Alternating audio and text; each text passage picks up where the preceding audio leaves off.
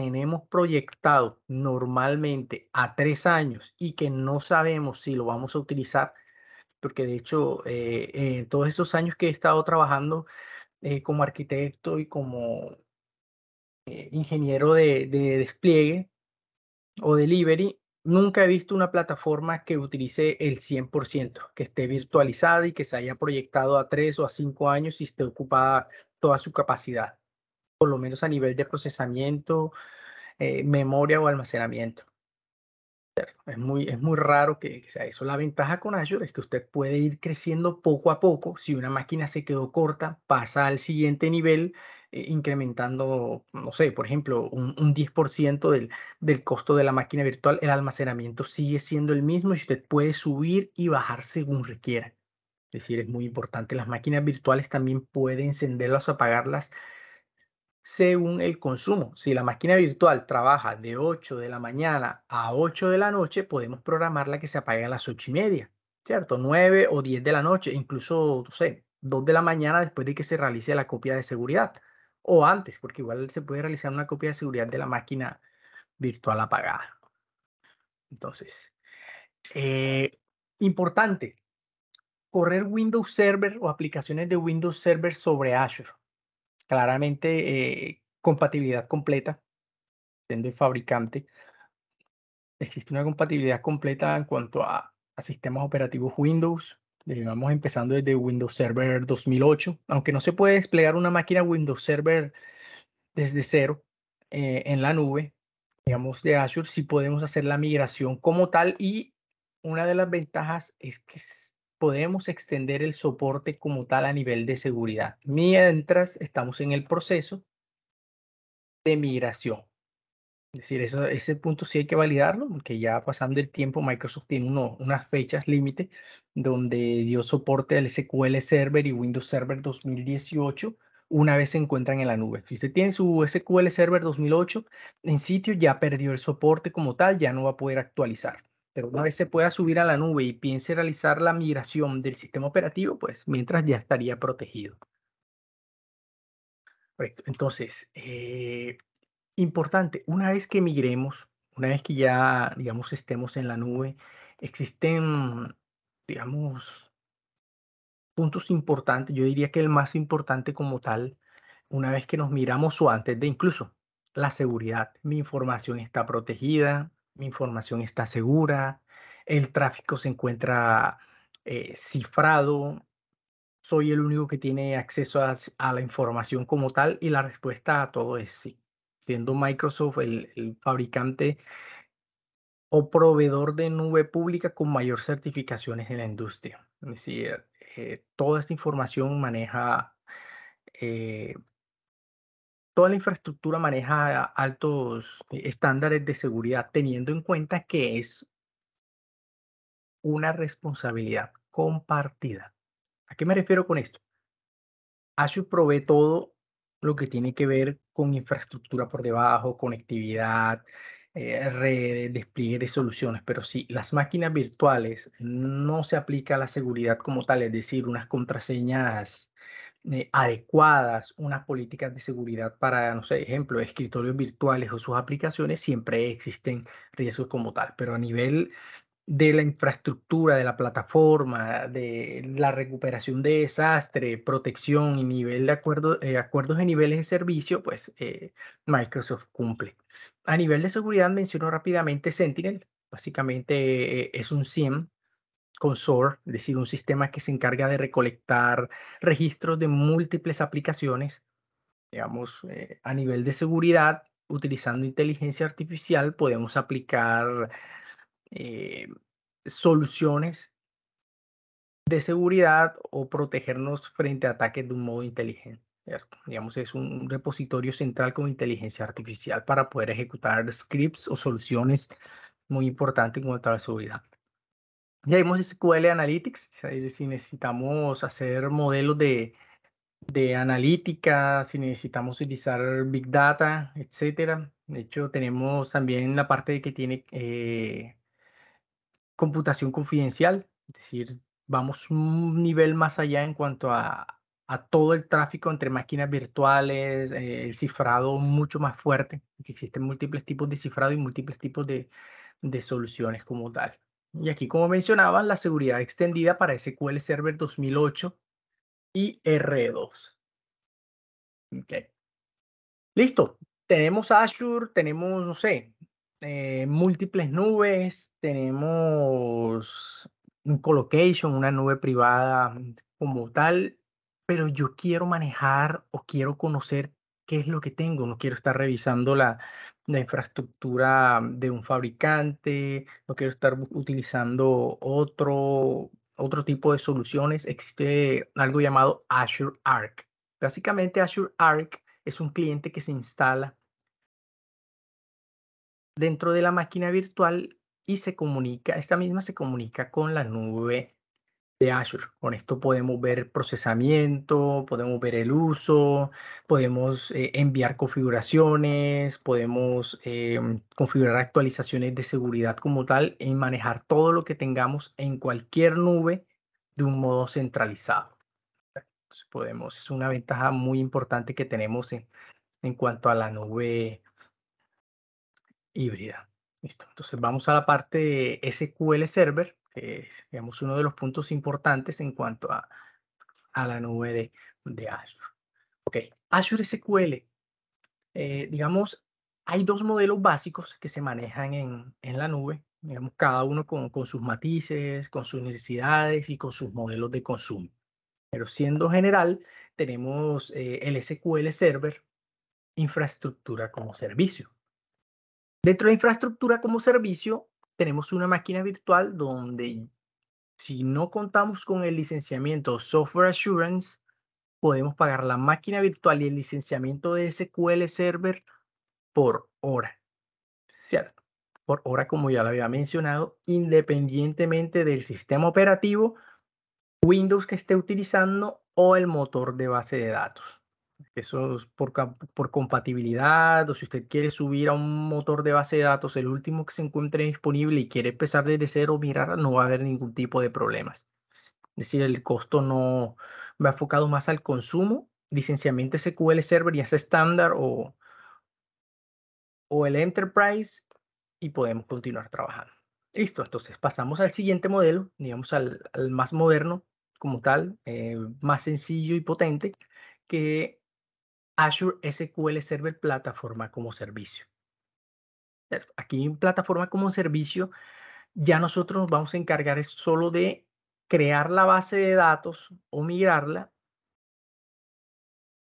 y no tenemos que preocuparnos por un sistema operativo. Es decir, ya tenemos los usuarios, dentro de la misma plataforma ya podemos configurar la red, que usuario se conecta, podemos hacer la integración con directorio activo en máquina virtual infraestructura como servicio o podemos utilizar el Azure Active Directory Premium, sea la versión Premium 1 o Premium 2, de acuerdo a la necesidad que tenga. Eh, de acuerdo al modelo de consumo, existe el modelo de consumo de DTU, son unas unidades, es la combinación de, de unas métricas internas que maneja Microsoft, que sería la CPU, la memoria, IOPS de entrada y salida y registros de base de datos. Es una, algo que tiene interno Microsoft para realizar ese tipo de consumo. Ya se maneja más cuando la máquina virtual o la aplicación maneja un, un consumo eh, ya proyectado, muy estático. ¿cierto? Podemos pasar entonces, si necesitamos más, si necesitamos mucha más flexibilidad, más potencia, podemos pasar al, al modelo Core o V-Core como tal, empezando desde 2 V-Core en adelante. Es decir, el límite es la capacidad que tenga eh, que usted quiera obtener, ¿cierto? Ya obviamente incrementando los costos de acuerdo a la necesidad. Ok, ¿por qué SQL Server en máquinas virtuales en Azure? Claramente una gran ventaja que tenemos, el mejor costo de propiedad. Podemos pagar hasta un 84% menos que AWS de Amazon. ¿Por qué? Por lo que ya había mencionado, digamos, una combinación de, digamos, instancias reservadas, que son unos, eh, es un compromiso que hacemos a uno o a tres años sobre un recurso Windows o SQL Server o la combinación de ambos para obtener eh, este tipo de descuentos. Si contamos con el software assurance como tal, podemos integrar ese software assurance a las máquinas virtuales y podemos tener, eh, digamos, descuentos hasta un 84%. Cada, cada caso es diferente y hay que evaluarlo como tal. Eh, digamos, es la base de datos, SQL Server es la base de datos líder en la industria tiene alto desempeño en cualquier sistema operativo. Claramente se menciona sobre Windows y sobre Linux. Anteriormente SQL Server solo funcionaba sobre Linux o ahora plataforma como servicio que ya, digamos, no nos preocupamos por eso. Además de que cuenta con seguridad y administración integrada. Ya no tenemos que preocupar por eso cuando ya lo manejamos como plataforma como servicio. Pasamos a lo que tiene que ver con la migración de aplicaciones. ¿cierto? Aquí hay un pequeño, digamos, un pequeño esquema donde podemos realizar las migraciones como tal. Digamos, Sergio, quiero tener la aplicación, quiero migrar mi aplicación que la tengo en, en, en .NET y tengo un SQL Server 2008. Claro que sí, tenemos un equipo como tal, se encarga de realizar un assessment realizar las instalaciones de unos software requeridos como tal que se encargan de hacer la validación y la migración como tal. En caso de que querramos pasar directamente de plataforma de infraestructura como servicio o si estamos en sitio y pasamos a la nube haciendo la migración de inmediato. Básicamente sería descubrir, utilizar el App Migration Assistant, después pasamos, podemos utilizar también el, el Database Migration, después pasamos una aplicación web como tal o Azure App Service y después hacemos la integración con una base de datos. ¿Ok? Entonces aquí entramos a la parte del mejor costo de propiedad. Como lo habíamos mencionado, eh, básicamente SQL Server a nivel de desempeño y transacciones mucho más rápido que, que Amazon. Claramente, eh, de mi parte, eh, cada uno de ustedes puede dar una guía ya mucho más personalizada de cuál, eh, cuáles son los costos, cuáles son los beneficios, cuál es el mejor modelo que me puede funcionar, este es el licenciamiento que estoy manejando, etcétera. Desde el lado derecho podemos ver que tenemos eh, el precio a tres años, de hecho es un 84% menos, claramente hay que entrar un poquito más al detalle en cuanto a lo que tiene que ver con el beneficio híbrido y reserva, instancias reservadas a tres años, que es lo que ya me había mencionado anteriormente. A nivel de desempeño, también claramente, estamos manejando eh, los discos SSD Ultra, que ya es lo máximo, incluso no hay aplicación que no pueda correr en Azure al, máximo de capacidad. Obviamente hay que tener todas sus implicaciones, la implicación bien integrada, pero a nivel de hardware como tal, el desempeño es alto. Y aquí manejamos, eh, digamos, las actualizaciones de seguridad de Windows, de SQL Server, como ya lo había mencionado, solo para máquinas virtuales en Azure.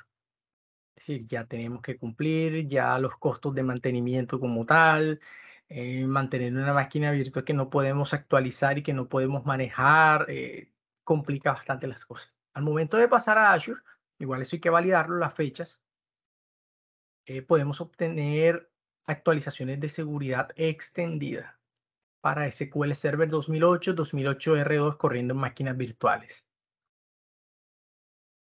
Listo, vamos al siguiente, al siguiente punto. Digamos, aquí está el beneficio híbrido, que ya lo había mencionado.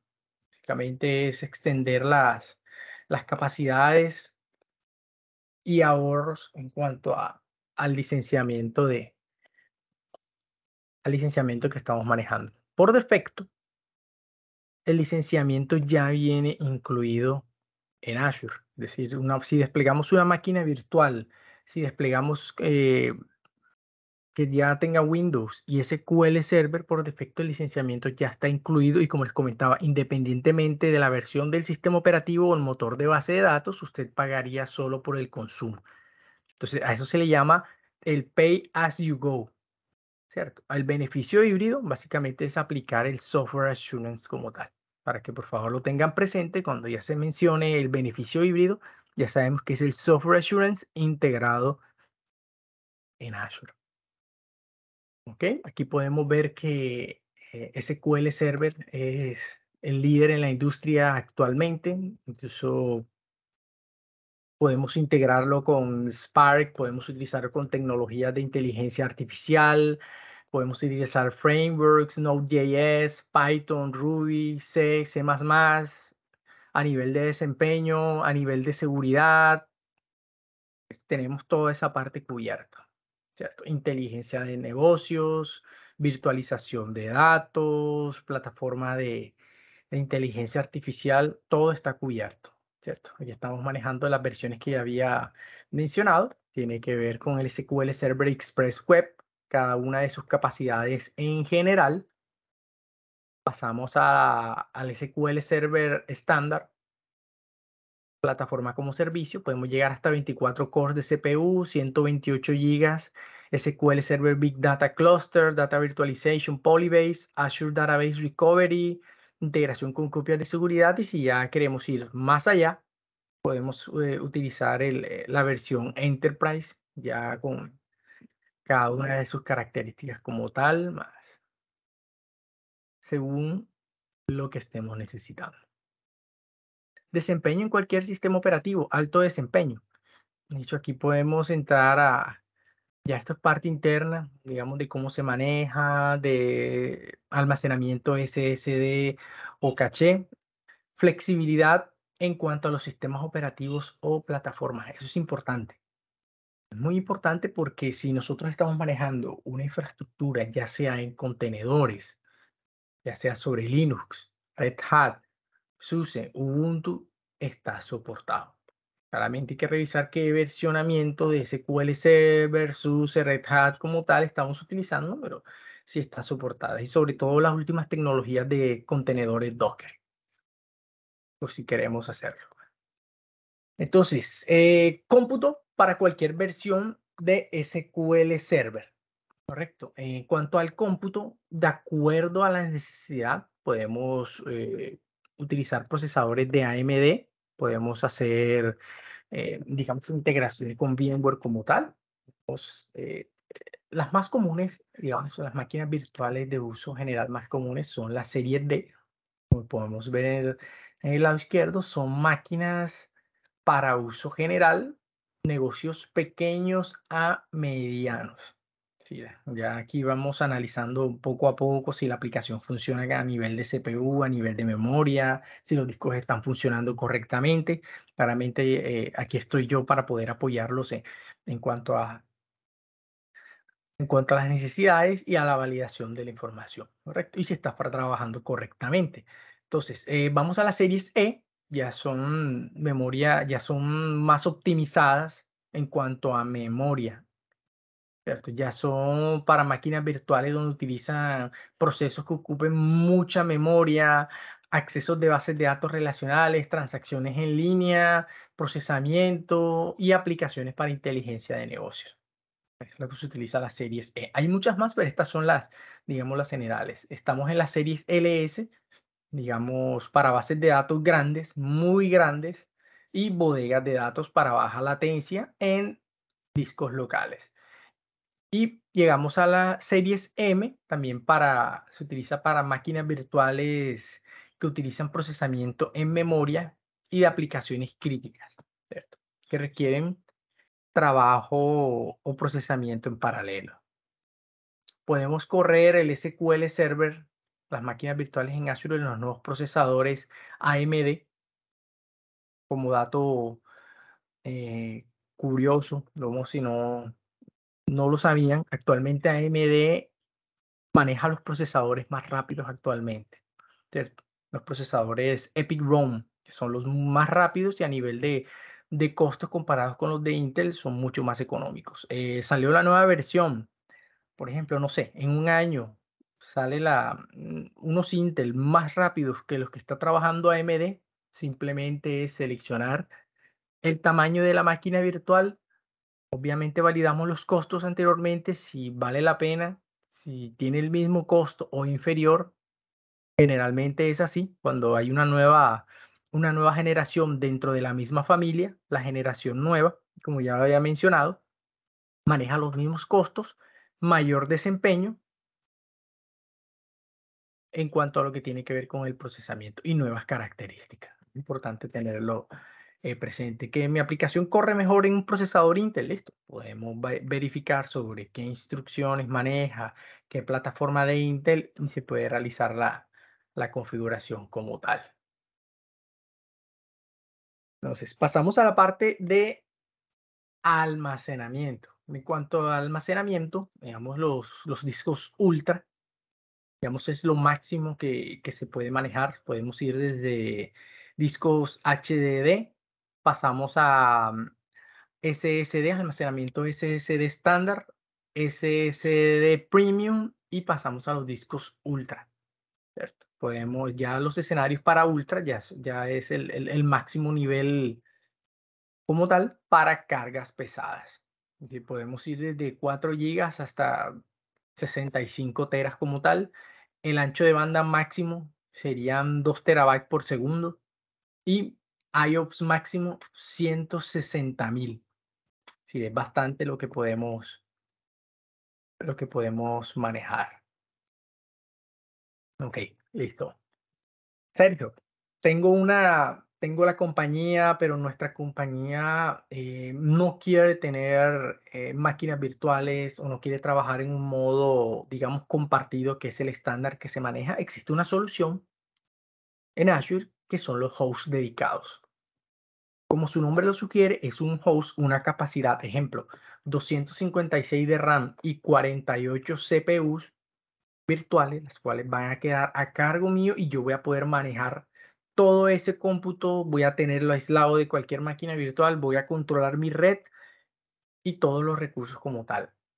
Para a nivel de control, para determinar ciclos de mantenimiento, eh, digamos a nivel de cumplimiento corporativo, cuando ya... Eh, este es el caso, uno de los casos más comunes, cuando ya queremos trabajar a nivel de, de cumplimiento y tener el, un host físico, porque esto es un host físico como tal, ya con toda la plataforma y todas las características de, de, Azure integradas, pero ya lo manejo ya un poco más granular, correcto.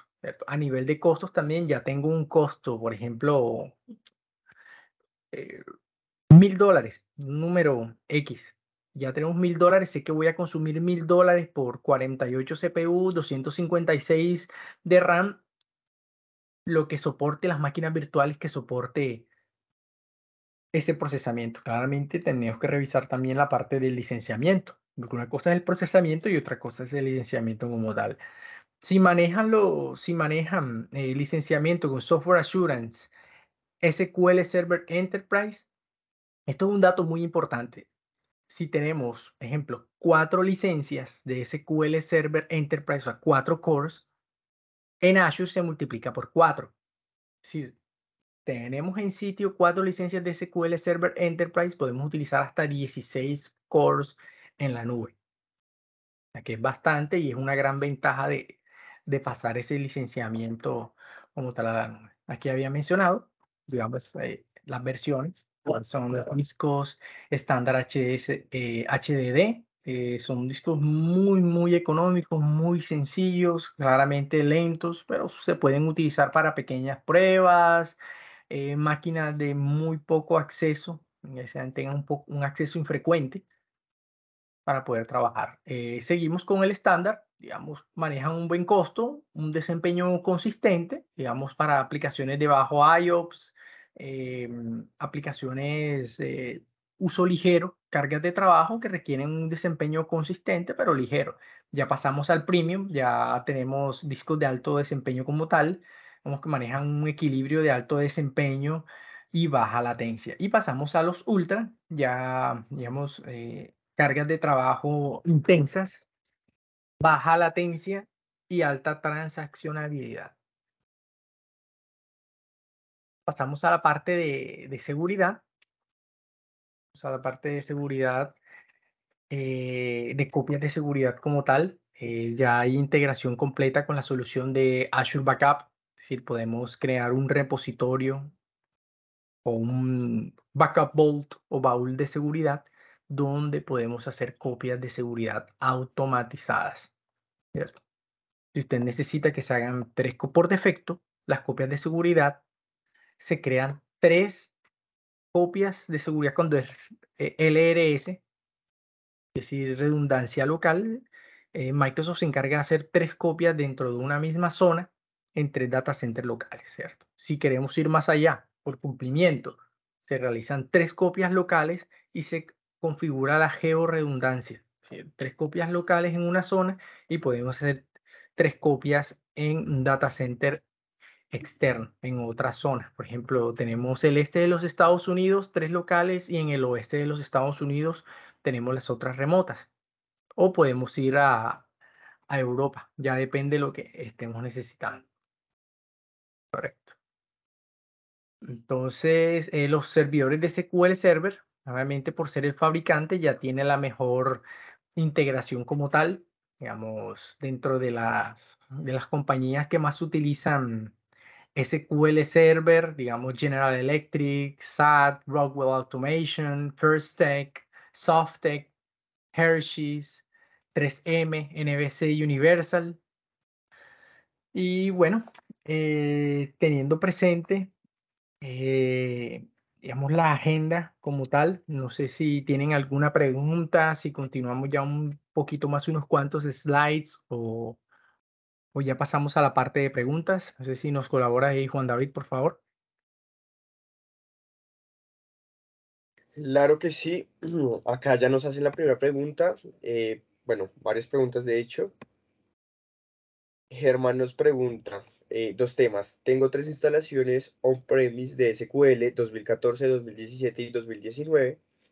Si en algún momento decidiría migrar todo esto a Azure, ¿cabe cada instalación de el mismo Teran? Por decir de alguna manera, en Azure.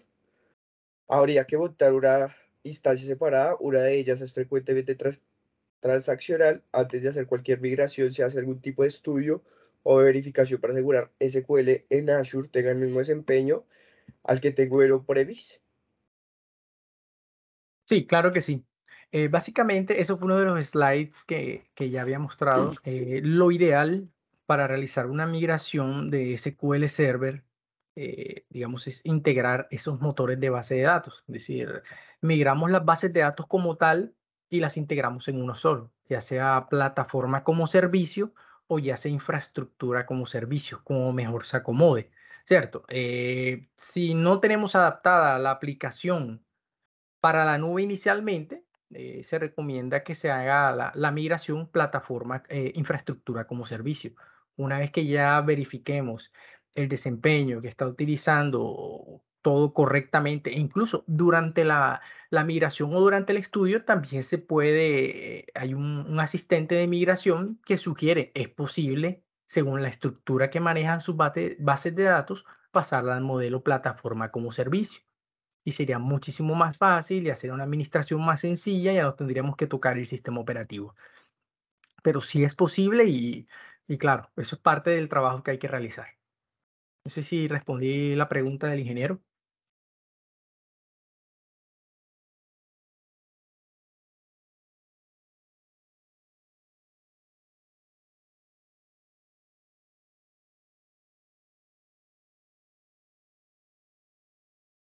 Eh, también nos hace una segunda pregunta que es, ¿entornos para desarrolladores se trafica igual que en entornos productivos? Esto porque en un premise tenemos para nuestros desarrolladores licenciamiento de SQL Server eh, Developer Edition en un ambiente aislado de producción. ¿El precio del licenciamiento es muy distinto? Eh, excelente pregunta. Eh, dentro del, a nivel de Azure existe una suscripción que es la suscripción de desarrollo. Claramente para que, si ustedes cuentan con una suscripción de, desarrollo como tal, tendríamos que evaluar eh, si aplica y si tendría descuentos.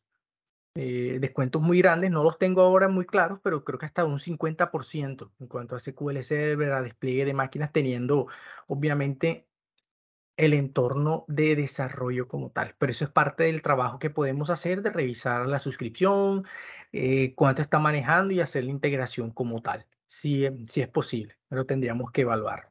Entonces, eh, serían preguntas generales inicialmente, ya posterior a, digamos, a este webinar, eh, les agradecería mucho diligenciar la encuesta, las dudas que tengan, por favor, podemos podemos eh, realizarlas eh, con el comercial como tal, podemos agendar una cita, un one-to-one, para revisar cuáles son las necesidades puntuales de cada uno. Eh, claramente no podemos exponerla en un webinar tan corto, pero sí, ya que Azure es una plataforma bastante grande en cuanto a, a soluciones como tal. ¿Tenemos alguna otra pregunta? Aquí ya estoy revisando el chat.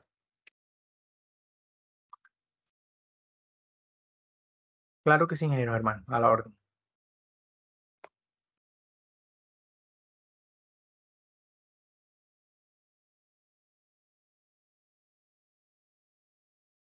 ¿Alguien más?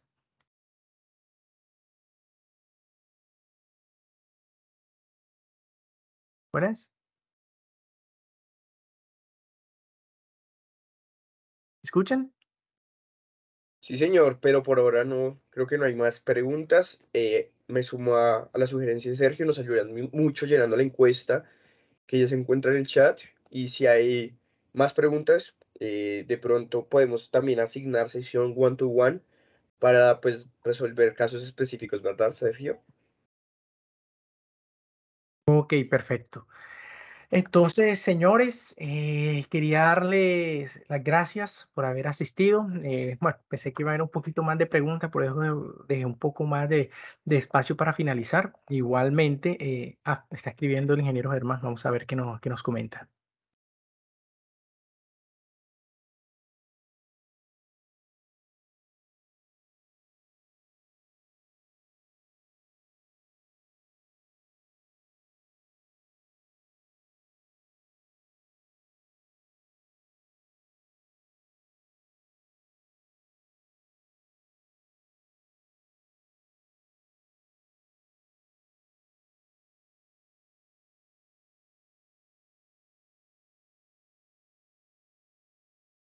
Claro que sí, ingeniero.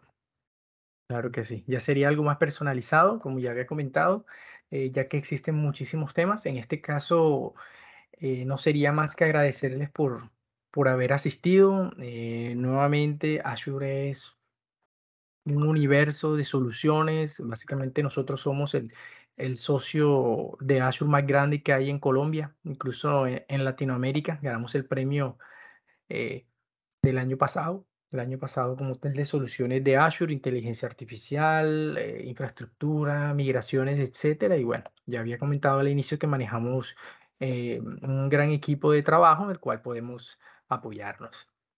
Entonces, no siendo más, eh, el acompañamiento, ah, ok, aquí tengo otra pregunta. Mayor Autos, ¿acompañamiento en la migración desde cero? Claro que sí, claro que sí, la migración es desde cero. Como ya he comentado, ninguna eh, migración es sencilla, cada escenario es diferente. Aquí básicamente lo que podemos ver es qué es lo que tiene actualmente, cuál es la meta que quiere llegar. Eh, basado en esto, eh, apoyarlos en cuanto a la optimización de costos. Sí, eso es parte, eso es correcto. Eso es parte, ingeniero Diego, eso es parte de la, digamos, de la evaluación como tal. Cuando ya tengamos un one-to-one, eh, una de las consideraciones que hay que tener em, en cuanto al almacenamiento, que son, es un cobro por, por transacciones. Es decir, básicamente, dependiendo del tipo de almacenamientos, para generalidades, eh, está el almacenamiento caliente, que es para, como el nombre lo sugiere, eh, alta transaccionabilidad. Es decir, se va a mover bastante el almacenamiento, va a tener bajas latencias como tal, y va a funcionar muy bien para aplicaciones, ¿cierto? El almacenamiento es el más costoso en cuanto a, costo por giga, es el más costoso, y el costo de operaciones de lectura, escritura o snapshots o capturas instantáneas, se le puede llamar también, son más económicas. Pasamos al almacenamiento frío. El almacenamiento frío nuevamente como el nombre lo sugiere, está más adaptado para copias de seguridad. Es decir, eh, es un, uso poco frecuente, mucho más económico que el almacenamiento caliente. En contraparte, las transacciones de lectura, escritura, etcétera, son más costosas, un poco más. Eso ya, ya lo analizaríamos, eh, eh, digamos, según el caso de uso. Pero básicamente para eso se utilizan. Y finalmente está el almacenamiento archivado, extremadamente económico. Y hago la palabra, menciono extremadamente económico porque de verdad lo es. Si tenemos 10 teras, 20 teras, 50 teras, es muy, muy económico, ¿cierto? Pero como ya lo había mencionado, es archivado, es información que muy poco se consulta, muy poco, es decir, poco. Al momento que necesitamos, no sé, una vez al año, revisar algo, hacer un tipo de descarga, porque también existe el cobro por descarga, ¿cierto? Eso es uno de, de los costos que tienen las transacciones en Azure. Toda la información de descarga tiene costo. Nuevamente podemos evaluarlo, podemos revisar el escenario con los estimados, pero a nivel de archivado, las transacciones son mucho más costosas. Por eso es que no hay que tener siempre eh, esas consideraciones y de mi parte como arquitecto eh, se las estaría suministrando para que tengan cuidado con, con el consumo.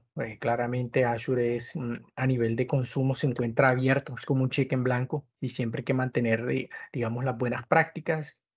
Hay que mantener los límites, se pueden configurar límites, se pueden configurar notificaciones como tal eh, para mantener el, consumo estimado. Pero sí, todo eso se puede revisar.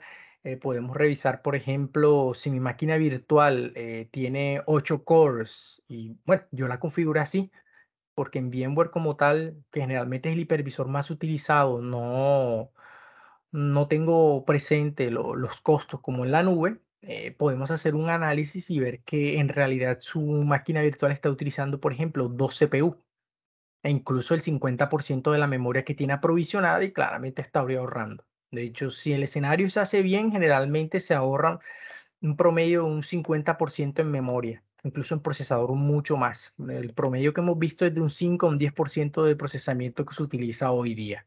Eso que cada escenario, pero es lo que se ve, es, es, es la norma general. ¿Ok? ¿Algo más?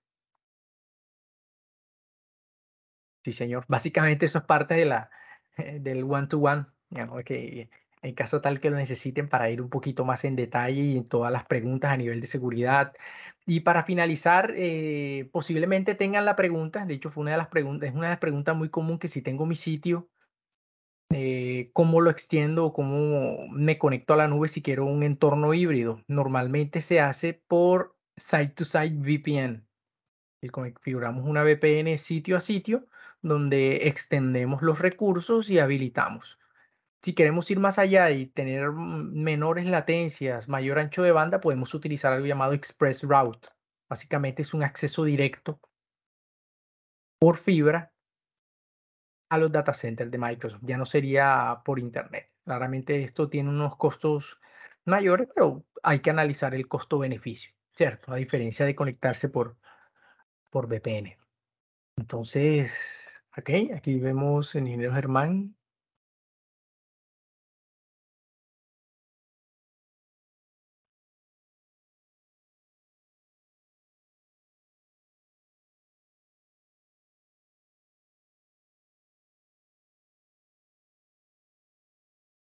ya parece que no, no hay más. Bueno, señores, muchísimas gracias. Nuevamente les recuerdo, eh, mi nombre es Sergio Tapia, soy ingeniero arquitecto cloud de Azure y estoy a sus órdenes. Por favor, eh, los invito a diligenciar la encuesta y a sus órdenes lo que necesiten. Muchísimas gracias y que tengan un muy buen día.